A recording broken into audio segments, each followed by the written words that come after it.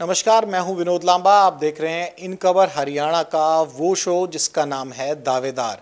और दावेदार इस लिहाज से कि 2024 के लिए टिकट की रेस शुरू हो चुकी है। तो आम जनता के साथ साथ जो टिकट लेने के इच्छुक लोग हैं, नेता हैं, वो भी देखें, कहीं उनका इस रेस में से नाम कट ना जाए।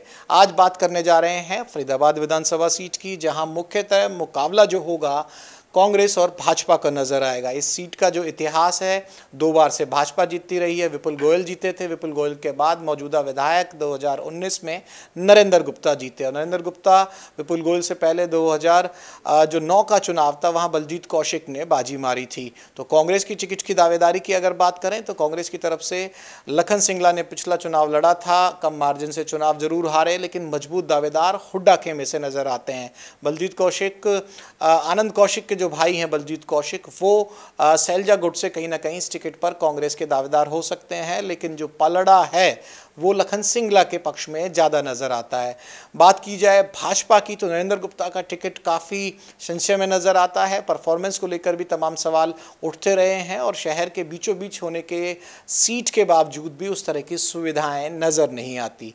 लेकिन महत्वपूर्ण ये है कि विपुल गोयल पूर्व कैबिनेट मंत्री 2019 में गच्चा खा चुके हैं टिकट की रेस में। क्या 2024 में वापसी कर पाएँगे और सरप्राइज़ के तौर पर अजय गौड़ एक ऐसा नाम है जो जिलाध्यक्ष सहित तमाम पदों पर भाजपा में रहे हैं और पूर्व मुख्यमंत्री मनोहर लाल के भी खास हैं और उनके राजनीतिक सचिव रहा करते थे। तो मुख्यतः ये तीन ही दावेदार इसमें से नज़र आएँगे भाजपा के और इसमें अजय गौड़ का भी नाम बिल्कुल हल्के में नहीं लिया जा सकता। बात फरीदाबाद विधानसभा सीट की है तो दावेदारों में सिर्फ़ कांग्रेस और भाजपा के उम्मीदवारों के हमने करीब करीब पाँच से छः नाम आपके सामने रखे, क्योंकि सीट ऐसी है, यहाँ जेजेपी बीएसपी आईएनएलडी का जो भी कैंडिडेट होगा, शायद अभी तक के हालात के हिसाब से इतना असरदार साबित ना हो। पिछली दो बार की जो इतिहास है, भाजपा जीती है, उससे पहले की सीट के तीसरी बार का जो बात की जाए तो वहाँ कांग्रेस ने।